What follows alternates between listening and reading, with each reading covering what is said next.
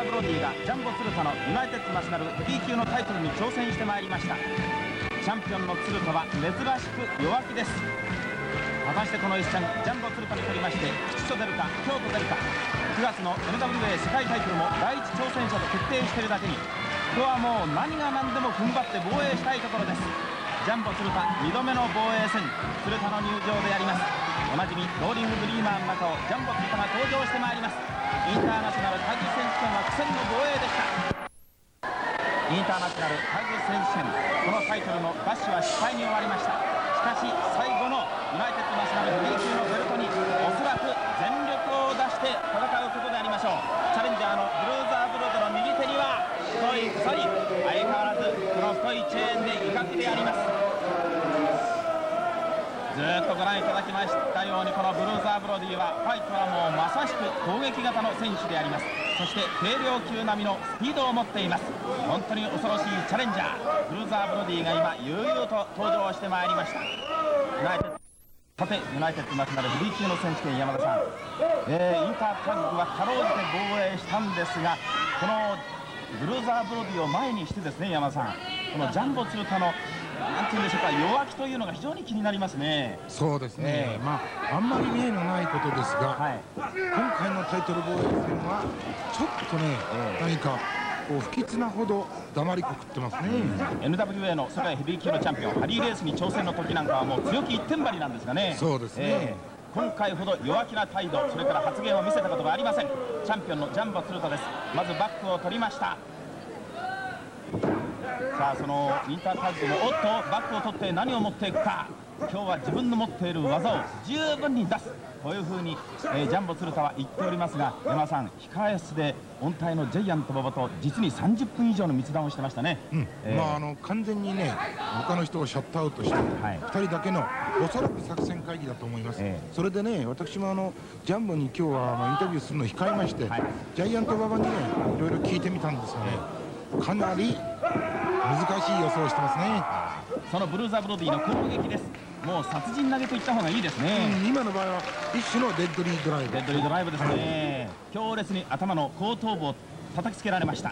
チャンピオンのジャンボ鶴田です。さあこの軽量級並みの速い動き。腕を取りました。アームホイップに行きます。チャレンジャーのブルーザーブロディです。絶好調の動きをしています本当にもう超ヘビー級135キロの超ヘビー級のこのブルーザー・ブロディですが本当にジュニアヘビーあるいはライト級の選手のような軽快な動きですからね。そうですね。この辺が強さの秘密です。まあね、えー、一体この人の強さはどこにあるのか弱点というものはないのかと、えー、私もいろいろ研究してるんですがね、はい、非常に難しい。まあ、ジャイアント馬場選手の話ですとね、この選手の弱点探すのは難しいけれども強いているならば攻撃一辺倒だとだからそこのところを逆用するしかないんじゃないかというふうな見方をしてますよね。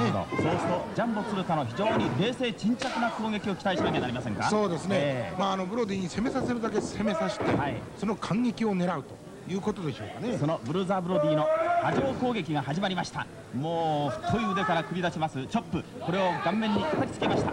首投げフライングメイヤーであります。もう首の骨が折れそうな感じであります。ブルーザー・ブロディウロディはあのあんまり今のところラフに来てませんね。来てませんね。えー、おそらく鶴田君を相手にね、はい、びっちりレスリングで来るような作戦かもしれませんよ、えー、開幕戦からの流れを山田さん見ておりますと、もう場外でチェーンを持ちましてね、暴れるだけ暴れて、こういうような今回の来日はラフ一辺倒のブルーザー・ブロディかと思ったんですがインタータッグの前哨戦あたりから徐々に技を出してまいりましたね。そうですね、えー、まあこの人はねもうあのラフだけでなくて、はい、テクニック的にも非常にいいものを持ってますからね、えー、まあ例えばあのいいドロップそれからドロップキックこの2つを挙げてもおそらくね大変な使い手ですよね。そうですね、えー、さあジャンボ鶴田がこの135キロのブルーザー・ブローディをニュートラルコーナーに、えー、一発投げ飛ばしています。そしてダブルチョップを見せました。さあ激しい軌道に打ち合い殴り合いチョップ合戦。さあブルーザー・ブローディを飛ばしてドロップキック一発で倒したがすぐに立ち上がりますしかし一発で倒しましたジャンボ鶴田のハイアングルのドロップキック。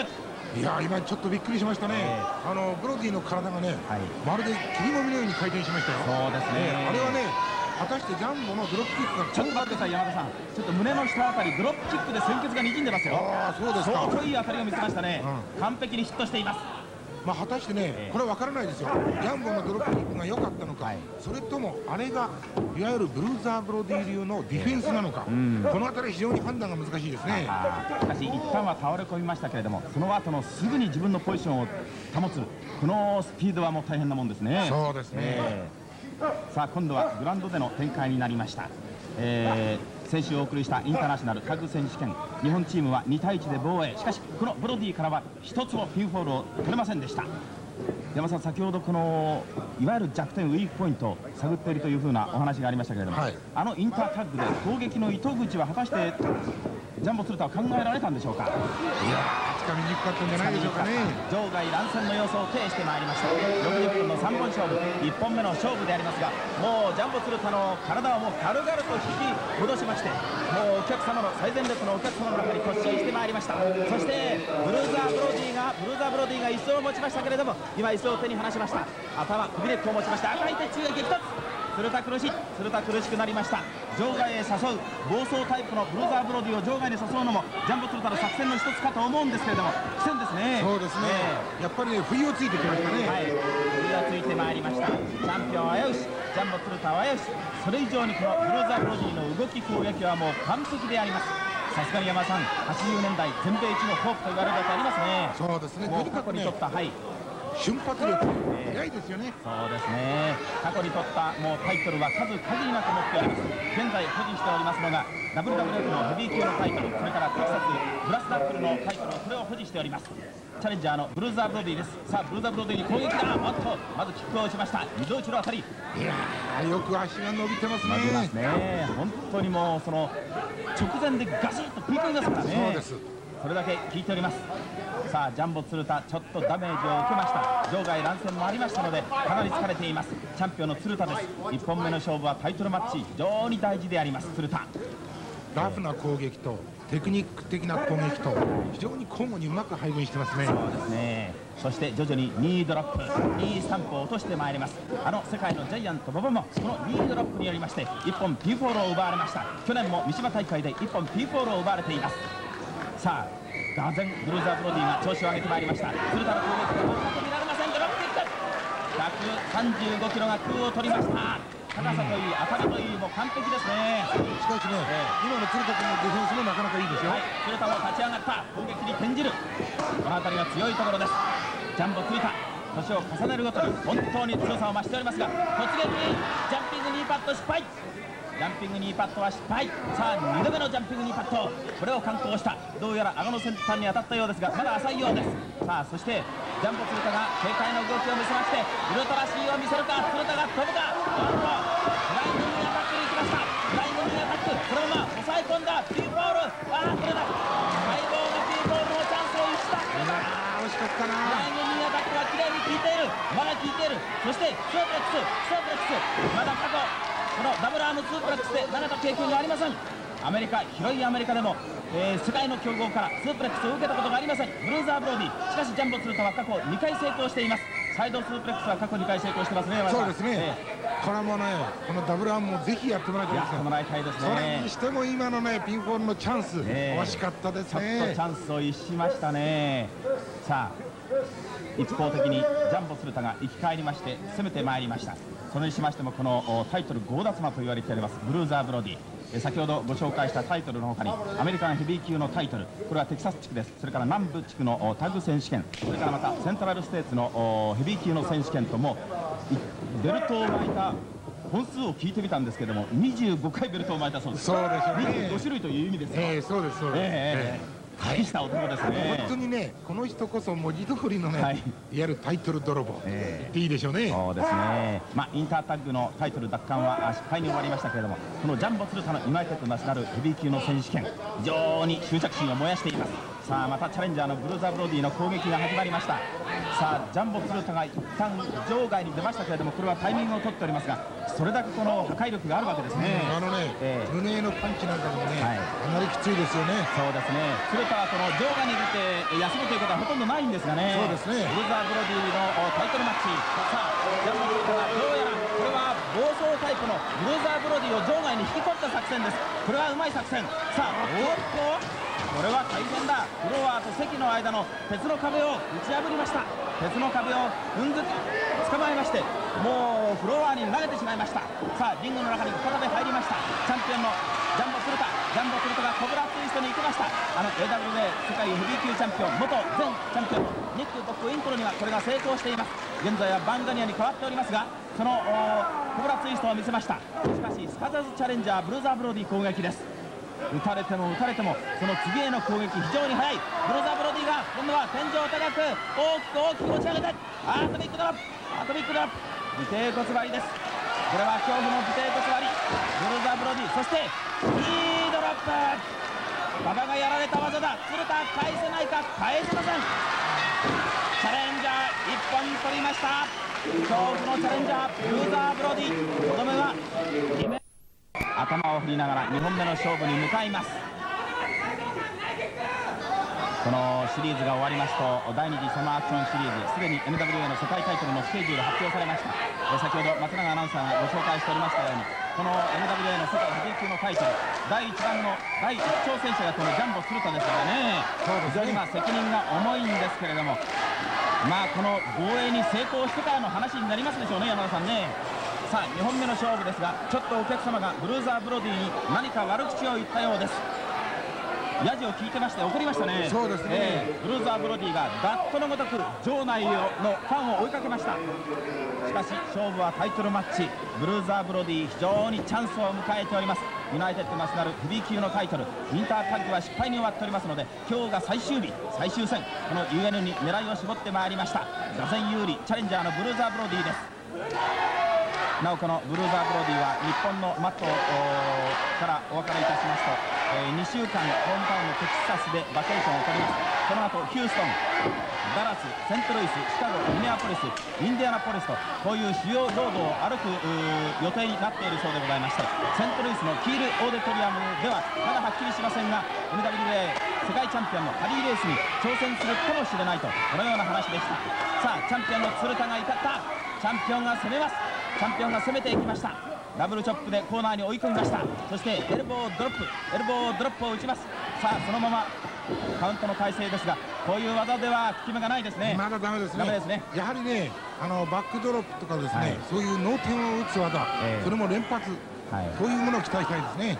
何としても防衛しなくてはなりません。9月の NWA 世界タイトル第一挑戦者が選ばれております。ジャンボ鶴田タイトルを防衛して挑戦するのと失って挑戦するのとでは気分的に大いに違いますその鶴田がしかし1本取られました。非常に危険信号いっぱいの今夜のユナイテッドナショナルヘビー級の選手権試合であります。いかにもこのチャレンジャーのブルーザーブロディの調子が何か良すぎるという感じですもんね。そうですね、えー、しかもあの1本目を先行したことで、はい、非常に気分的に余裕を持ってますね、えー、またしても2ドロップ。顎の先端。人間の部分で一番弱い部分。ガラスの上に命中しました。ブルーザーブロディの恐怖の2ドロップ。炸裂しています鶴田がまたしても場外に飛ばされました。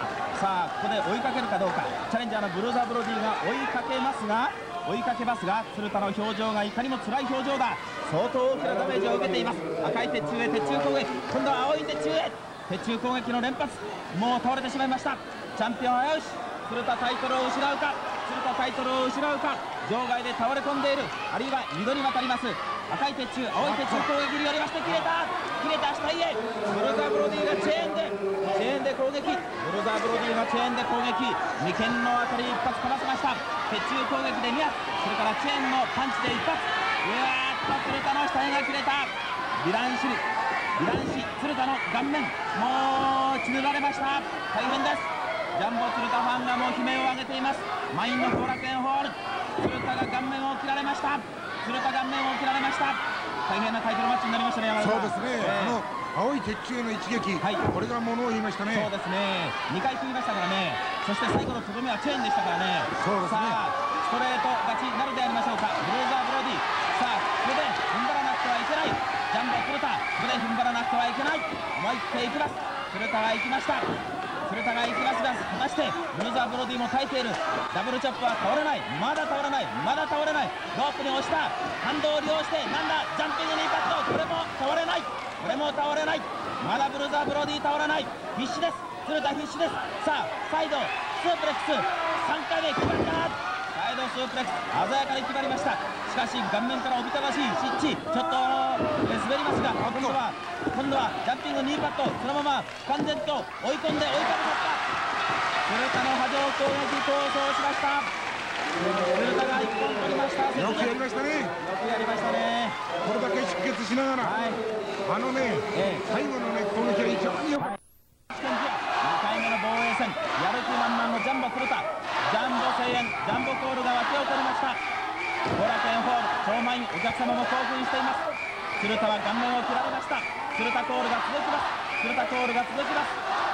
この声援は非常に温かいじゃないですか山さん。そうですね、えー、としても頑張らなくてはなりません9月には MWA 世界ヘビー級チャンピオンハリーレースへの第一挑戦者これも決定さあなんとか鶴田コールに、えージャンボ鶴田が奮起いたしました。鶴田がブルーザーブロディを場外暴走ファイトに誘っています。これがブルーザーブロディの表情だ。まだブルーザーブロディの顔面は切れておりません。ジャンボ鶴田の血はさらにさらにおびただしく流れてまいります。キャンバスに血が倉さん鶴田の傷ですけれどもね、眉間がねちょうど縦に4センチ切れてます。4センチ切れてます、はい、バックドロップ。鶴田バックドロップ。起死回生になるか。P ボールに結びつくか。初めての P ボールだダメ。ダメです。いやー本当に惜しかったですね。ピーボールを奪いたいもう本当に奪いたい。とにかくね、ええ、あの2本目ですね、はい、あれだけダメージを負いながらね、フォローを奪ってるんですからね、はい、ここでもう1本、そうです、ええ、もう1本取ってほしいですね、ブルザーブロディからピンホールを奪いということになりますと、この80年代最大のホープを破ったわけですから、アメリカでの評価が高くなります。ニードラップジャンピングフライングニードラップ。勢いをつけました。ブルーザーブロディ。しかしいいタイミングを取りました。ジャンボ鶴田。一歩早く場外に逃げました。今ね、えー、あのブロディは膝痛めてますよ。はい。そうですね。さあ場外での勝負です。ブルーザーブロディがパイルドライバー。パイルドライバー。パイルドライバー。空中長くパイルドライバー突き落とした。ジャンボ鶴田の前頭部が当たっています。さあブルーザーブロディが中に入ってカウント10が過ぎれば新チャンピオンニューチャンピオン誕生だがどうだ？さあジャンボ鶴田がここで起き上がりました。もう一度サイドのサイドの脳天食い打ち。釣れた脳天食い打ちを返すか返すか返すか返せない。体重がある。返した。返しました。釣れた根性で返しました。すごい力ですね鶴田もね。そうですね、もう最後の力という感じをね、はい、振り絞ってる感じですね。場外乱戦がまだ続きます。場外乱戦が続きます。が今度はなんだ？アトリックドロップか。さあおっと鉄柱を蹴ったぞ。鉄柱を蹴ったぞ。おっとこれはなんだ？今ゴンが打ち鳴らされています。鉄柱を蹴りました。ジャンボ鶴田の足でしたね。そうですそうです、えー、鉄柱を蹴りましたが今場外の戦いが行われておりますけれどもゴングが打ち鳴らされております。さあ今度は椅子をもう5つぐらい一緒に持ちました。ブルーザー・ブロディブルーザー・ブロディがもう暴れまくります。ブルーザー・ブロディが暴れまくります。ちょっとチャンピオンのああややっと捕まえました。そして、えー、お客様の間に割り込んでおきますがさあこのゴングは果たして3本目場外リングアウトということになりますと防衛なんですがね。そうですね。正式なコールがありますか、はい、多分このまだはっきり分かりませんけれども場外リングアウトを取られたんでしょうかね。おそあの時間から聞いてました、はい、今聞いてください。これです今あ両選手リングアウト。そうですね正式に原郡司リングアナウンサーによりまして告げられました。結局1対1引き分けでありますけれどもジャンプするかがこれまた白強の防衛であります。リングの中に入ってまいりました。顔面詰められました。本当に危ない防衛戦鶴田。鶴田よく頑張りましたが引き分け。しかしこのブルーザーブロディから2本目。1回でもいい。ピンフォールを奪ったのはもう褒めなくてはなりませんね。そうですね、はい、素晴らしいフォールでしたね。そうですね。タイトル強奪馬のチャレンジャーのブルーザーブロディですけれどもインターナショナルタッグ選手権続いてのユナイテッドナショナルヘビー級の選手権。3本目リングアウトがとうとうもう惜しいところまで手が伸びておりましたけれどもタイトルダッシュまでには至りませんでした。ジャンボ鶴田が死守しました。これで二冠王のままに9月の NWA 世界ヘビー級チャンピオンハリーレースへの第一挑戦者として、まあ、挑戦が実現するわけですけれども気分が違うでしょう。そうですね、ね